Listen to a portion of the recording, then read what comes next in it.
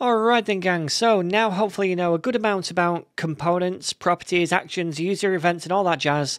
And now what I'd like to do is flesh out this create book page component with a web form so that a user can add a new book to the database. So let's open the component view up and just start to flesh this out. Now the first thing we need on this page is a form. So let's make that form tag and eventually we'll be hooking the submit event of this form up to an action in the component class to save the new book. Before that though, we need a few different form fields for the book information which a user can fill in.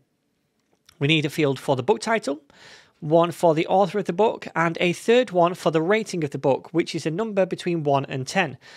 So to track and store what a user types into these input fields, we'll be using the Livewire model directive, which we've already seen. And that allows us to bind the value of a property between the input field and the component class. So before we actually flesh this form out, I want to quickly open the component class and make these three different properties which we can bind to. And inside this class, we're going to make the first public property called title and then a second one, second public property called dollar sign author, and then we also need a final public property called dollar sign rating. And we don't need to assign any initial values to these properties because we want the input fields to be empty to begin with. But then when a user fills out the form and submits it, those properties are going to be updated by the values in the input fields. So then let's head back to the view and finish up the form. All right, so what I'm going to do is create a div right here with a class of field. And then inside this field, I'm going to do, first of all, a label. And we don't need this for for this. The label will say book title. All right. So underneath that, we need an input field. And we'll use a wire model. So we'll say wire and then a colon and then model. And we set that equal to the title property that we just made. All right, and then underneath this, I'm just going to leave a little space, and that's going to be for some error feedback later when we do validation, probably in the next lesson. For now, I'm going to grab this thing and I'm just going to paste it in a couple more times down here because we need two more fields. So the second one is going to be the book author. And we need to update the model down here as well to be the author property. And then finally, we'll say book rating. And this actually has to be of type number so the user can only enter numbers and this will be for the rating property as well. All right, so finally we just need a button down here. So let's do that, button. And then we'll say add book for the text of this button. All right, so now we need to hook up this form submit event to a function over here, an action. So let's come to the form first and say wire submit, and we're going to set that equal to a save action. So now let's go and save, or rather create this save action over here. We'll create a new public function. So public function called save.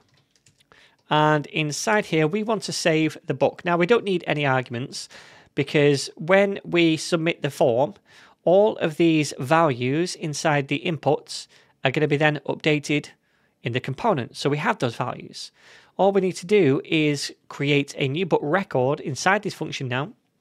And we can do that by using the book model. So let me click on this to use it. And then we're going to use a method called create. And inside this method, we just need to pass in an array of key value pairs for this book. So we need three different fields. We need the title, the author, and the rating. So let's say the title is going to be equal to this and the title property on it. Oops. Let's do this little arrow correctly, like so. And then we'll do the author, which is going to be equal to this author. And then finally, we need the rating, and that's going to be equal to this rating. All right. Can I do this? No, rating. Okay. So this will go out and create that document, or rather that record for us in the database.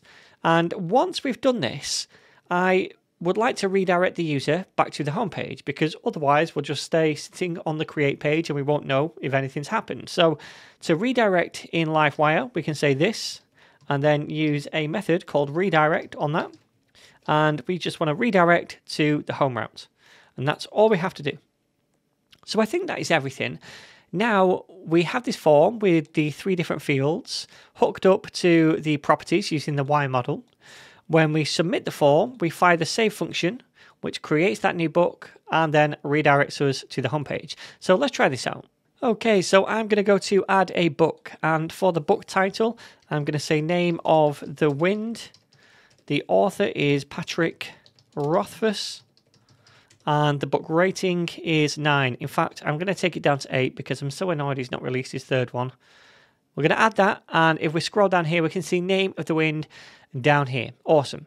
So that is all working, my friends. Now we've created a web form over here, and we've hooked it up to an action on the create form uh, component class, which is saving that new record to the database.